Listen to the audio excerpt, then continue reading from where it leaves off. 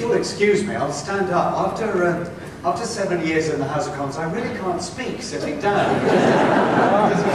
also, um, being 61 now, I can't read except at this distance. So that, will, that will also help. Uh, thanks, Janet, for saying, very nice to see you yet again. I, I take that as it's slightly ambiguous. It's, uh, it's, it's, it's, it's good to be asked. I don't agree uh, entirely uh, with, with I, I don't agree at all with George Orwell. Uh, George Orwell is actually a very good example of uh, precisely the ill that he thinks he has diagnosed. He is a wonderful propagandist. Uh, he is a, a, fantastic writer. He's one of the finest stylists, the finest stylist who's ever, who ever existed in, in British journalism. And this can quite easily obscure from you the fact that George Orwell was completely wrong uh, about almost everything. Um, uh, he was uh, a socialist, or, or, thought he was. Um, he backed the wrong side in the Spanish Civil War. And he believes, or believed, that it is by language that the ruling political classes can manipulate the people. Uh, 1984, which we're not in a sense discussing, but which really, in, in lots of ways, is the translation into a novel, uh, Linda, of, of, of what's in this essay, 1984, is a very good example of that. You see, the problem with, with George Orwell is that he was not really a Marxist.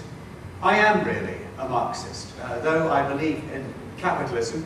I'm a Marxist in the sense that I, I think that at the end and underlying everything are the clashes of interests and of interest, interest groups. And I think that language is only a consequence, an epiphenomenon of that. It's not the cause of that. And that if you try just to look at the language that people, people are using, you'll miss what is really happening. Orwell says here, right at the beginning of the essay, that the attitude, the belief that he wants to combat is the belief that language is a natural growth and not an instrument which we shape for our own purposes. I think that language is a natural growth. We do shape it for our own purposes, but it's the people, it's individuals, it's ordinary people who shape the language. And when politicians try to do it, they always fail. Nothing is easier than standing on a, a stage like this and ranting against uh, the awful uh, cliches, the obfuscatory language, the evasions, the, the vagueness, the fudging, uh, and the downright lies uh, in which uh, politicians clothe their purposes. The trouble is that we see straight through that. We see through it straight away. When people talk in obfuscatory language, we think they're talking in obfuscatory language. They're either hiding something or they don't know what it is they want to say, usually uh, the latter.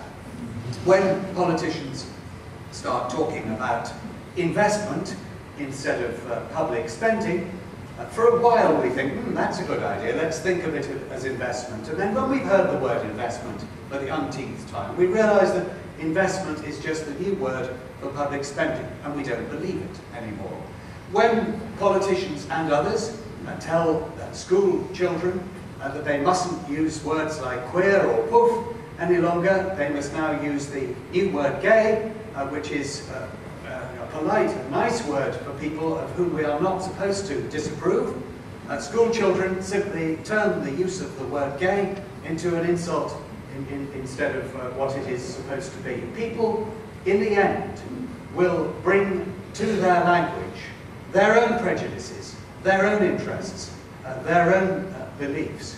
And if the language doesn't seem to suit, then they'll change the meaning of the words. Not, not so very long ago, well, I think about uh, 15, 20 years ago, the National uh, Society for Spastics, or the Spastics Society, changed its name to SCOPE because spastics had become a term of abuse in the playground. I don't think they were wrong uh, to do that. I understand very well the reasons uh, that they they, they do it. Uh, I think it's a marvellous society. However, there is now a playground word, scopa, And, and Scopa means uh, someone who is uh, a bit of a fool or dislocated in some way. We, we are not easily manipulated by language, not nearly as easily manipulated by language as Orwell thinks, because Orwell is, in the end, an autocrat. He is, in the end,